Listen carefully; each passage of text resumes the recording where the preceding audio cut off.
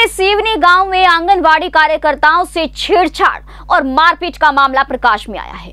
आपको बता दें कि गोरेला पेंड्रा मरवाही के जिला कांग्रेस अध्यक्ष मनोज गुप्ता के भतीजे रवि प्रकाश गुप्ता के ऊपर छेड़छाड़ व मारपीट के आरोप लगे हैं, जिसके चलते पुलिस ने पीड़िता की शिकायत के आधार पर आरोपी के खिलाफ संबंधित धाराओं के तहत मामला दर्ज कर लिया है।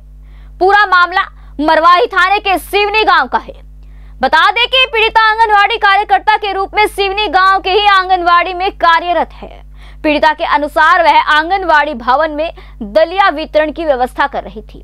तभी अचानक आरोपी रवि प्रकाश गुप्ता ज़बरदस्ती भवन में घुस गए इस दौरान आरोपी ने उसके साथ मारपीट की और दुष्कर्म का प्रयास भी किया। उस समय भवन में अन्य तीन कार्यकर्ता भी मौजूद थे।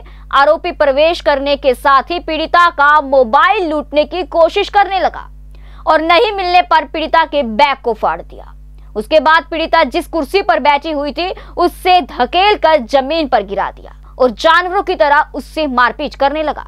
भवन में मौजूद अन्य कार्यकर्ता के द्वारा छुड़ाने की कोशिश के बाद भी आरोपी नहीं माना।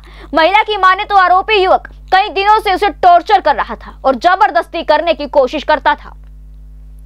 बीती नवरात्रि में भी परिवार के सामने उसके साथ खुली सड़क पर उसके साथ बदतमीजी की थी। लेकिन बार बार सामाजिक समझौते के कारण पीड़िता ने पुलिस से शिकायत नहीं की थी।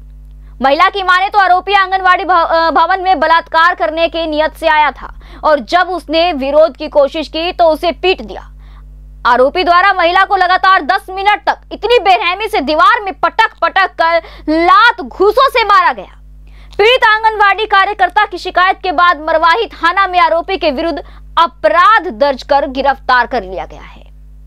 गोरेला पेंड्रा मरवाही से संवाददाता उमेश अग्रवाल की रिपोर्ट।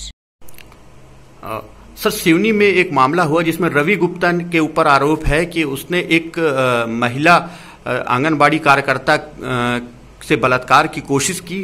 क्या है सर पूरा मामला? पुलिस अभी किस स्तर पे जाँच पहुँची है? किन किन धाराओं में कार्यवाही हुई है?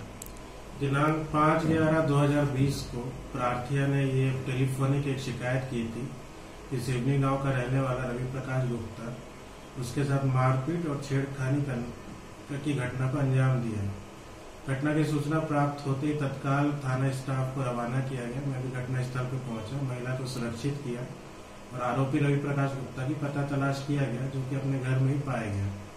पाने पे उसको थाने पे लाकर विधिवत जाँच कार्रवाई करने के उपरांत उस पर एफ़ दर्ज किया गया है।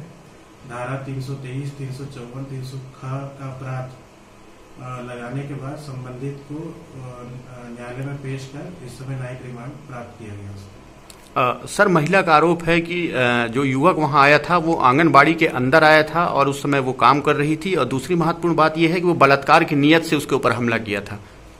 देखिए ये सब तो जाँच का विषय है पहली बात। दूसरी बात एफआईआर उन्हीं धाराओं पे सुसंगत धाराओं पे किया गया जो उसके कथन पे है जो उसके आवेदन पे और तीसरी बात हम उसकी जानकारी को बहुत ज़्यादा डिस्क्लोज नहीं करना चाहते क्योंकि महिला की सुरक्षा का भी एक प्रश्न है। ठीक थैंक यू सर ऐसे ही लेटेस्ट खबरें पाने के लिए बेल आइकन को क्लिक कर हमारे चैनल को लाइक शेयर एंड सब्सक्राइब करें। धन्यवाद।